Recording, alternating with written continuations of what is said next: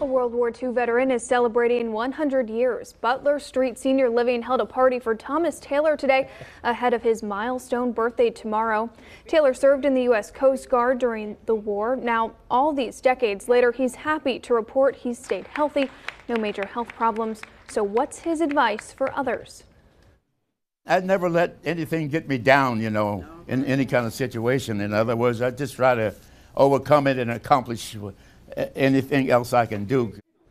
Taylor says he still can get around better than most people his age. He says his family took away his driver's license only two years ago because they were worried he'd gotten too old. Happy birthday to him.